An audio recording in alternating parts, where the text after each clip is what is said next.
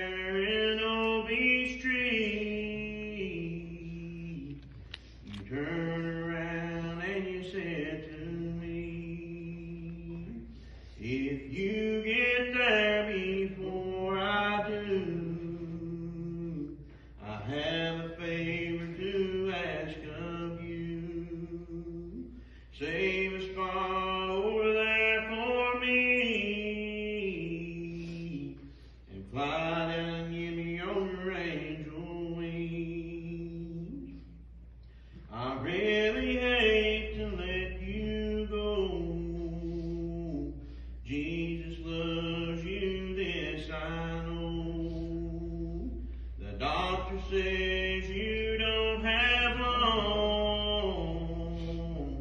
You fly away to that better home. Late last night when I closed my eyes, I felt the angel standing by your side.